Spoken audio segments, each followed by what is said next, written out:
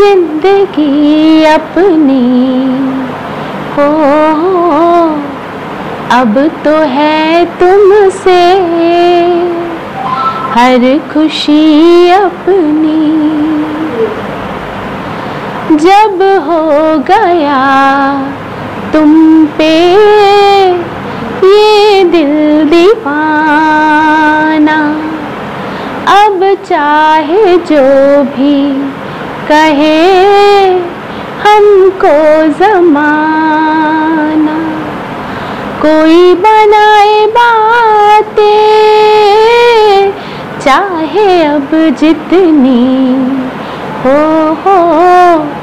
अब तो है तुमसे। हर खुशी अपनी, तेरे प्यार में बदनाम दूर दूर हो गए।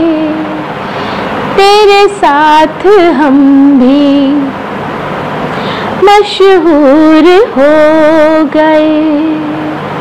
देखो कहाँ ले आए।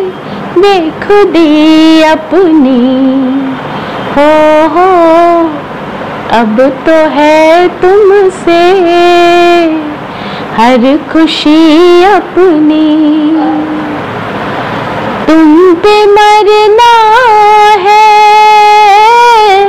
ज़िंदगी अपनी।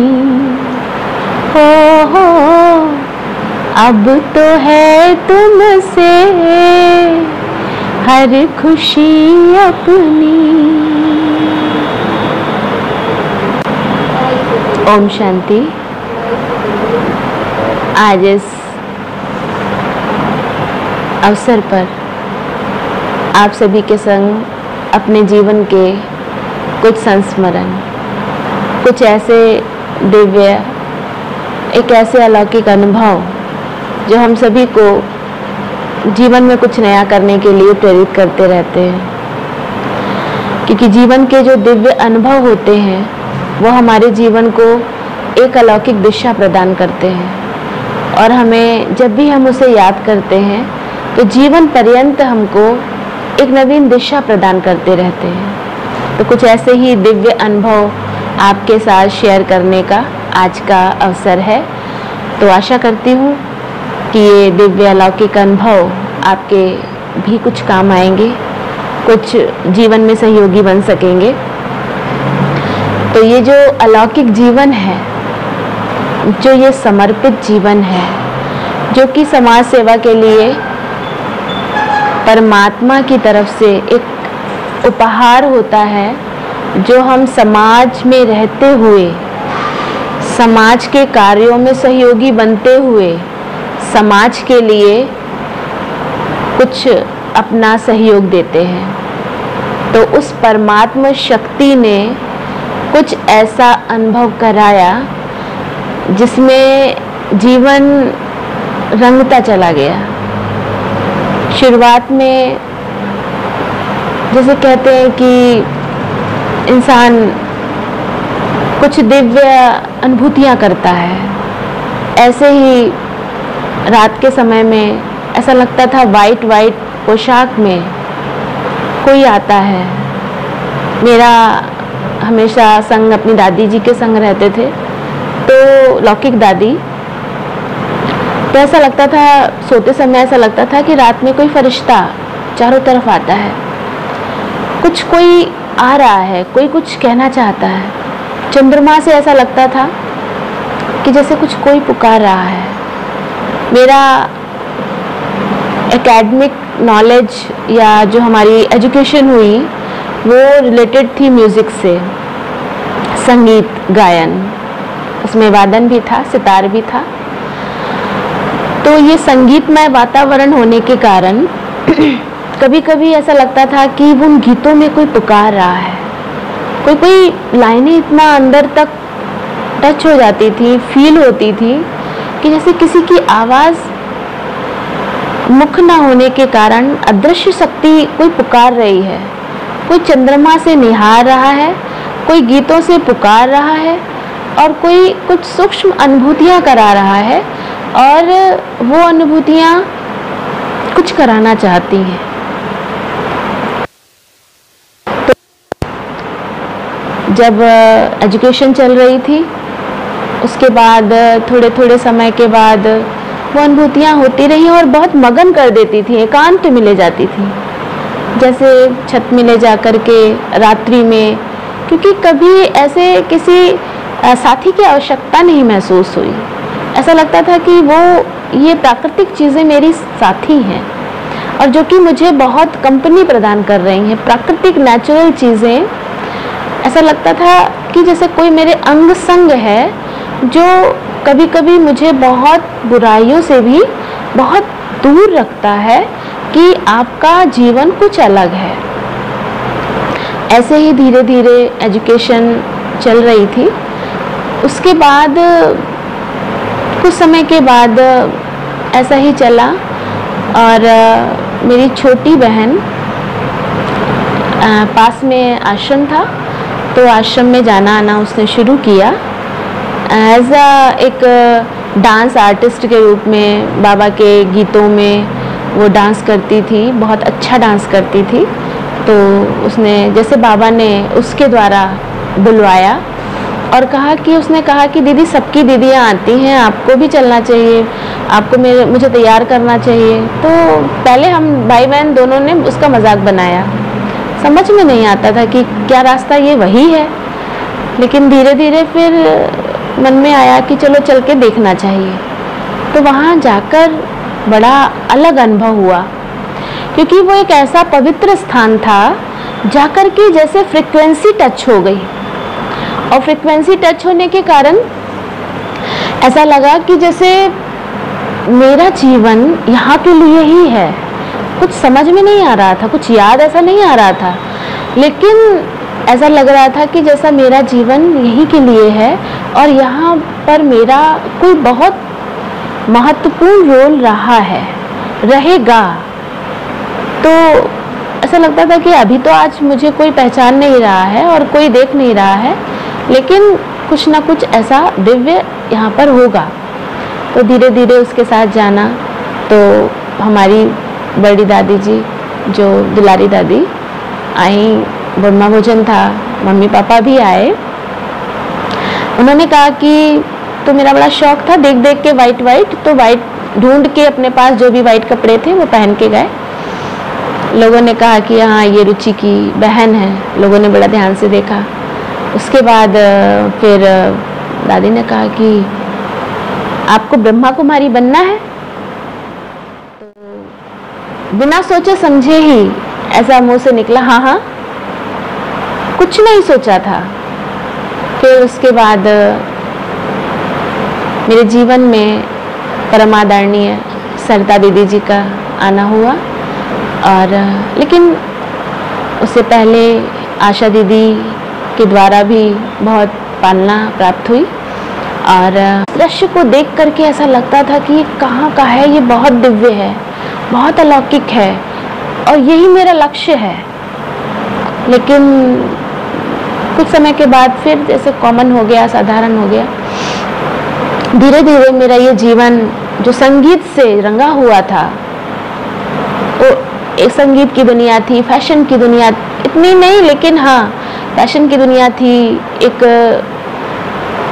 इसमें रंगा होने के कारण एक दुनिया का आकर्षण था, लेकिन धीरे धीरे जैसे कोई आवाज़ खींच रही थी, बुला रही थी, सोमवार का व्रत रहते थे एक माता जी पासी में रहती थी तो वो हमारे यहाँ मीडिया पत्रिका देने आती थी। तो मम्मी एक बार उनसे कह रही थी कि आपकी पत्रिका में ये फ़ोटो बहुत आते हैं। वो समझाने लगी कि, बहन जी, ये फ़ोटो तो सेवा के लिए होते हैं, इससे प्रेरणाएँ आती हैं लोगों को। तो हम सोमवार का व्रत था। ऐसे ही व्रत में खाने से पहले ही बड़े ध्यान से उनकी बातें सुन रहे थे। तो हमने कहा माता जी आपके यहाँ, क्या हम आ सकते हैं? तो मम्मी को बड़ा आश्चर्य लगा कि तुम्हारे पास टाइम कहाँ है? पहले कॉलेज है, फिर कोचिंग है, फिर घर है। तो बिल्कुल उन्होंने ध्यान नहीं दिया कि ये कहाँ जाएँगे। लेकिन हमने उनसे पूछा, उन्होंने बड़े प्यार से आंसर दिया हाँ हाँ आप आ सकते हो। फिर जाना हुआ उनके यहाँ। लेकिन उन्होंने जो जो सुनाया, वो कभी नया नहीं लगा। वो हमेशा ये लगा कि कुछ सुना हुआ है। कुछ पहले से कुछ सुना हुआ है। और धीरे धीरे दो तीन दिन ही हुआ था। तो ऐसी खींच हुई अंदर से कि ऐसा लगे कोई खींच रहा है। मुझे कहाँ जाना है ये पता नहीं है, लेकिन कोई खींच रहा है। कॉलेज जाने का मन नहीं हो रहा था। पूजा की, पूजा के कमरे में बैठे थे। फिर धीरे धीरे लगा कि कहाँ जाएँ? तो कहा, उनके यहाँ माता जी के यहाँ तो शाम को जाएँगे। और ये भी पता नहीं था कि वहीं जाने के लिए मन खींच रहा है, कहाँ जाने के लिए खींच रहा है। फिर ऑटो में बैठ करके कॉलेज गए। रास्ते में गीत बज रहा था। वो फिल्मी गीत था, साजन मेरा उस पार है, मिलने को दिल बेकरार है। ऐसा लगे जैसे कोई मेरे लिए ये गीत गा रहा है। बहुत अच्छा लगा। और शाम को जब उनके यहाँ गए तो धीरे धीरे धीरे दिव्य अलौकिक अनुभव ऐसे धीरे धीरे बहुत होते गए। तो वो भी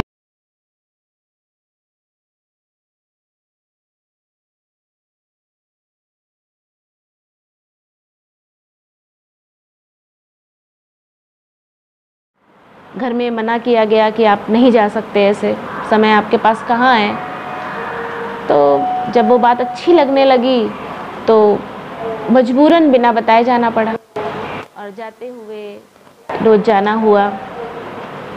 धीरे धीरे माँ बाप को ये लगा कि इतना रोकने के बावजूद भी अगर नहीं जाना रुक रहा है तो क्या किया जाए?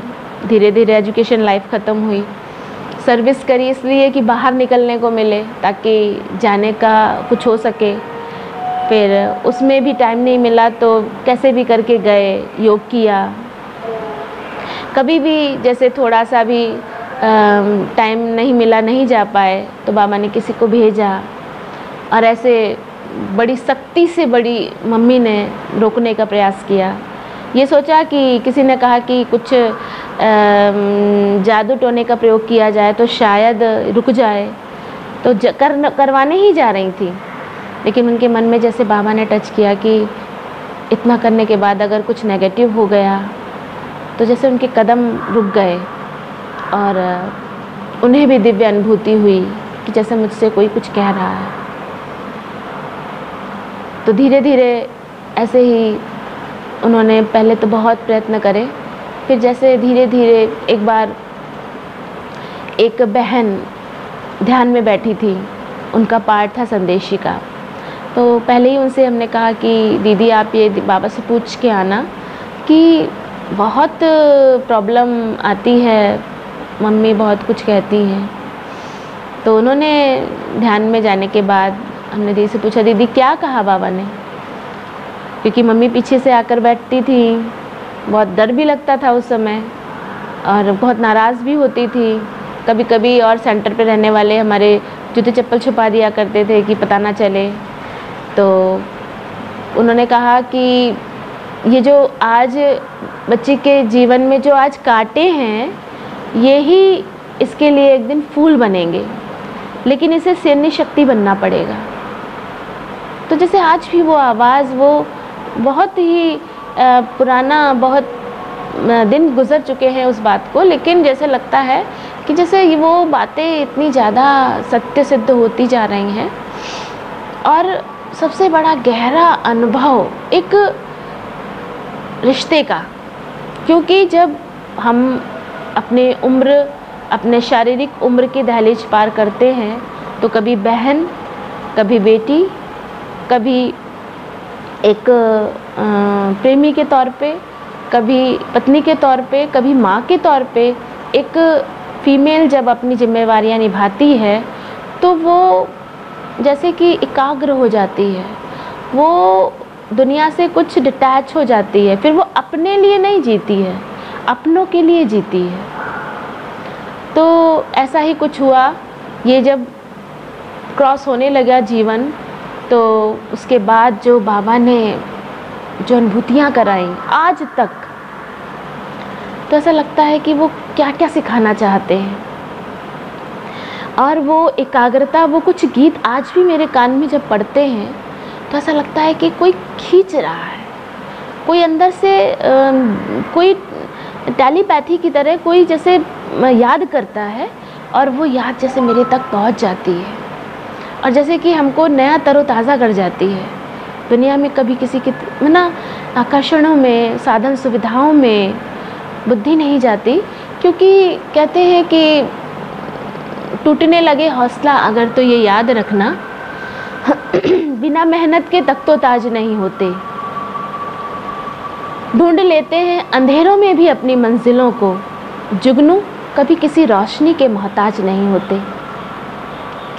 तो जो राहें हम स्वयं चुनते हैं, हम जिसमें स्वयं अपने जीवन साथी के साथ चलते हैं तो उसमें हम बहुत अनुभवी होकर के चलते हैं तो हम दूसरों को भी वो अनुभव कराने के भी हकदार हो जाते हैं और स्वयं भी अनुभवी बन करके, हम सच्ची सीताएँ बन करके, सच्ची पार्वतियाँ बन करके, उस अपने साजन के लिए, उस अपने पिता के लिए, उस अपने हर रिश्ते के लिए एक बार रक्षाबंधन में सबको राखी का न्योता दे करके आ रहे थे। थक कर के बैठे बाबा के रूम में। तो ये मन में आया कि बाबा सबको तो देकर आए हैं। सुबह सुबह तो आपको सबसे पहले आना है। आप तो मेरे सबसे पहले भाई हो। फिर कह कर के फिर तैयारियों में व्यस्त हो गए। सुबह नहीं आया याद। फिर जब तैयार होकर के गद्दी पर बैठे भोग लगाने के लिए। एकदम से जैसे टच किया उसी ने कि देखो तुम तुम तो मुझे कह के भूल गई। और मैं तो कब से आया हुआ बैठा हूँ? आज भी वो अनुभव, वो जैसे कि कितना प्यारा है, कितना अपना है, और उसके टचिंग के बिना ये जीवन चलाना, ये जीवन वो अच्छा तो बहुत लगता है, लेकिन वो अनुभव करे बिना ये ब्रह्मा कुमारी जीवन ये समर्पित जीवन जैसे अधूरा है। और इस अधूरे आधे अधूरे जीवन को जीने में वो मज़ा नहीं है वो रमणीकता नहीं है क्योंकि ये कोई आ, सादा जीवन नहीं है। जब स्पीकिंग कोर्स कर रहे थे तो लोग बहुत तरीके से अंदर की भावनाओं को जानने की कोशिश करते थे क्वेश्चनों के माध्यम से।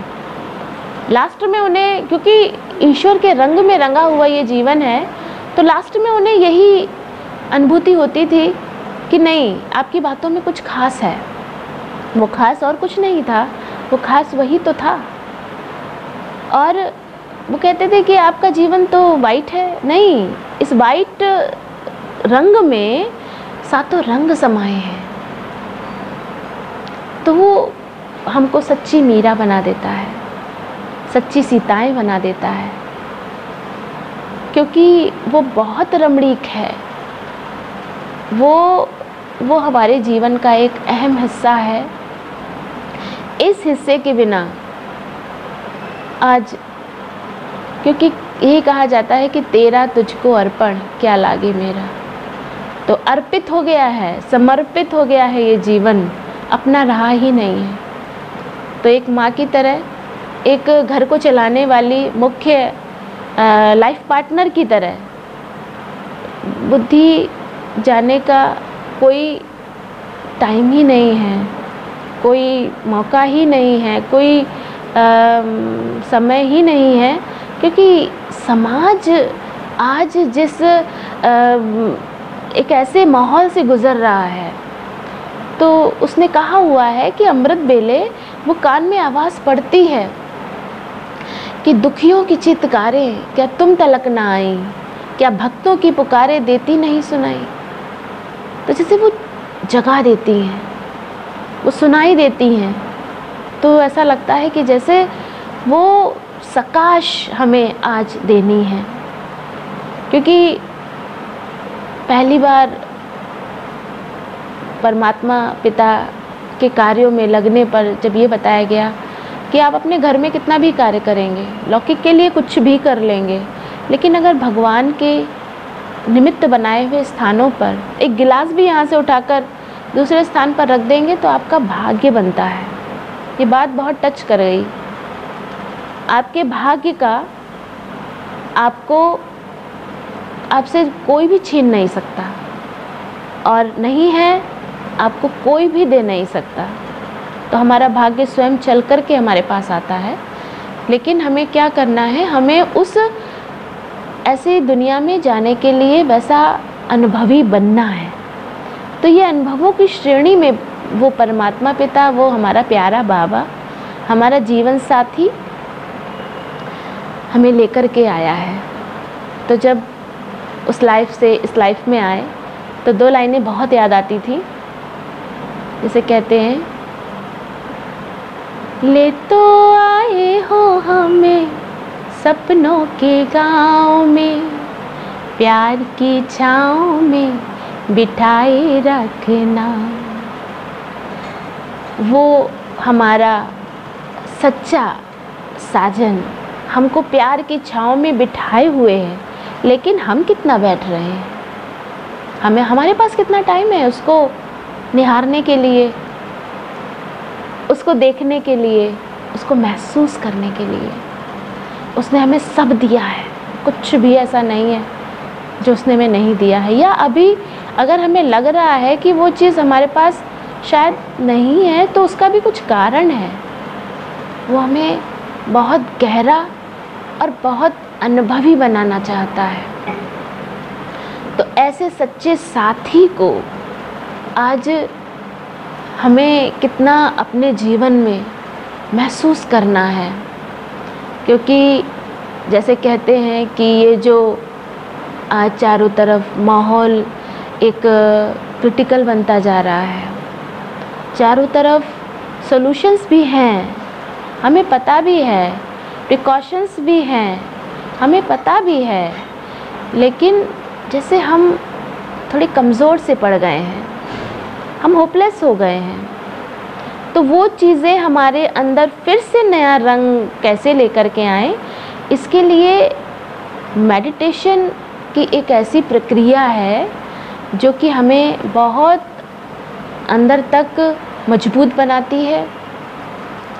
और कितने भी साल हो जाएँ, आप सीख रहे हैं, लेकिन प्रैक्टिस मेक्स मैन परफेक्ट कई कई छोटी छोटी चीज़ें जैसे कि मान लीजिए छोटी सी कोई भी, छोटी भी गलती की हो कभी, एक स्पेलिंग में भी गलती की हो तो जैसे अपनी विशेष योग के स्थान पर बैठते ही वो मुझे ऐसे टच करते हैं कि ऐसा लगता है कि उन्होंने बता दिया कि आज तुमने देखो ये गलती करी है। बड़ा आश्चर्य लगता है ये कैसी अदृश्य गुप्त शक्ति है, क्योंकि उसका बनने के बाद भी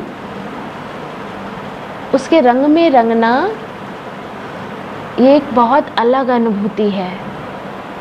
और जीवन धन्य हो जाता है, क्योंकि जब ये लगता है कि आप जो जैसा रखोगे, जैसा जहाँ भी बिठाओगे, जो भी पहनाओगे, जो भी खिलाओगे, हमें उसमें राज़ी रहना है। तो ऐसे ही जब जीवन में कोई भी चीज़ आती है तो उसके अनुसार अपने आप को एडजस्ट करना, ढालना, ये हमारे प्रेम का सबसे बड़ा सबूत है। और हम आत्माओं को, हम बाबा के उस परम सत्ता के विशेष आत्माओं को, विशेष संतानों को, इस पे बहुत ध्यान देना चाहिए।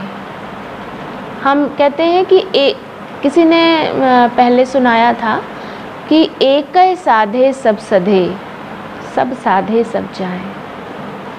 एक पत्नी अपने पति के घर में आती है तो अगर उसको, उससे उसका है कनेक्शन अच्छा है तो पूरे घर में उसका हर कुछ अच्छा चलता है।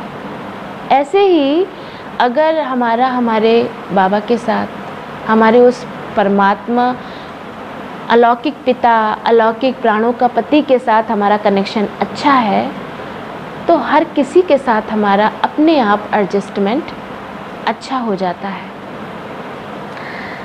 तो जीवन में इन्हीं चीज़ों को हम फॉलो करते जाएँ और जैसे कहते हैं कि हर इंसान के जीवन का एक लक्ष्य होता है, एक स्वाभिमान होता है।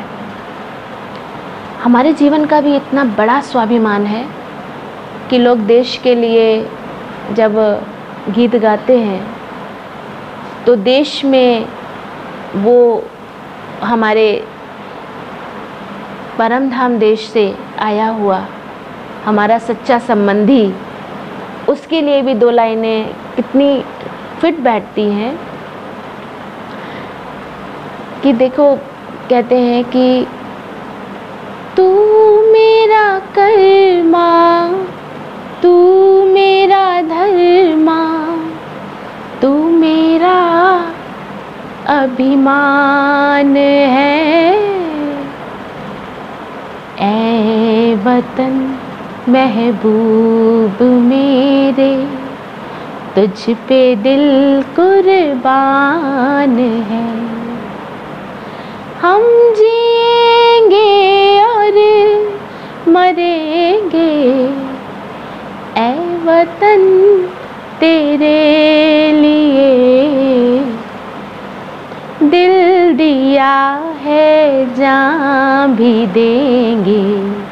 ए सनम तेरे लिए।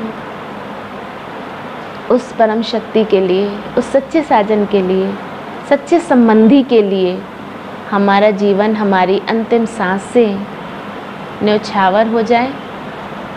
अंतिम सांसों तक ये जीवन श्रीमत पर चलता रहे। मेरे जीवन से हमेशा हमारे बड़ों को और हमारे उस परम संरक्षक पिता को एक प्रेरणा या ऐसा लगे कि हाँ कि एक फ़क्र का एहसास हो। एक गौरव का एहसास हो।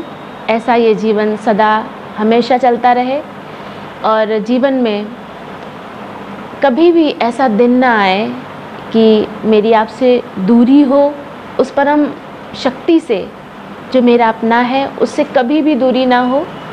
और हमेशा ये मुझे याद रहे कि उसका बनने से ही मेरे जीवन का कोई मूल्य है। यही मेरे जीवन की वैल्यू है एक मूल्य है।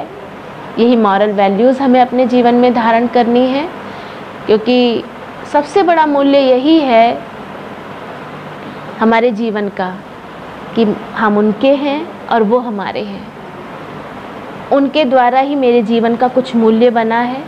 नहीं तो कितना भी पढ़ाई लिखाई के बाद कितनी भी जॉब के बाद कितनी भी आ, संसाधनों के भौतिक पदार्थों की प्राप्ति के बावजूद भी एक सेटिस्फेक्शन एक सच्चा रिलेशन एक सच्चा प्यार ये प्राप्त करना बहुत ही रेयर हो गया है जो हम आत्माओं को मिल रहा है। इसके लिए आज आप लोगों के समक्ष ये आ, सुना करके ये अनुभव ये अपने संस्मरण बहुत बहुत अच्छा महसूस हुआ। और आप सभी, हम सभी इन चीज़ों को अपने बार बार सुने और खुद और अपना अच्छा जीवन बनाने के लिए मेरे जीवन में और बहुत सी प्रेरणाएँ आए और सभी की दुआएँ मिले और सभी की दुआएँ लेने लायक कुछ कार्य कर सके इस जीवन में, क्योंकि एक दो लाइनों से समाप्त करना चाहेंगे।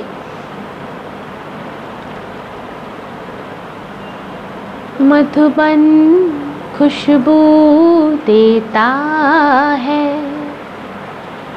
सागर सावन देता है।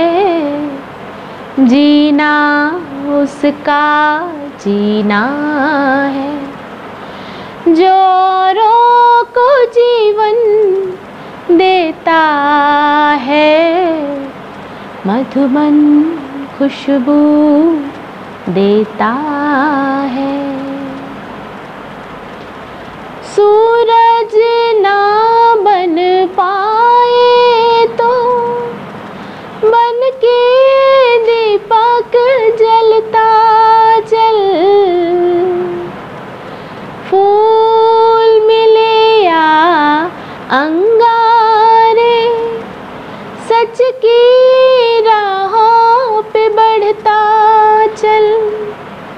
सच की राहों पे बढ़ता चल।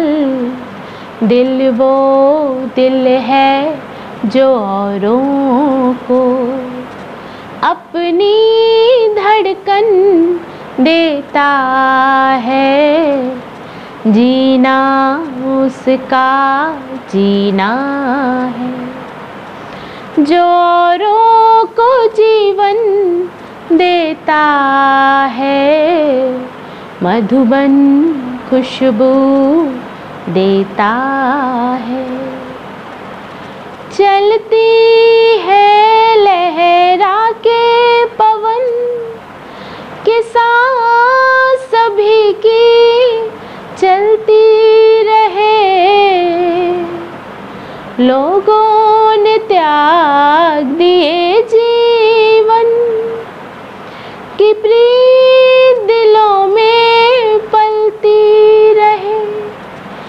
प्रीत दिलों में पलती रहे।